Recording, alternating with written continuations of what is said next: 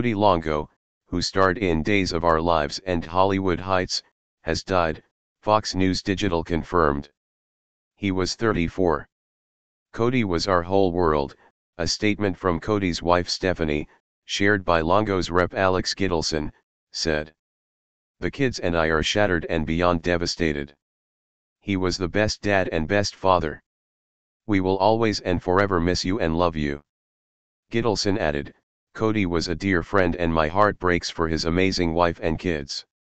He was such a loyal, loving, and talented person, and he will be greatly missed.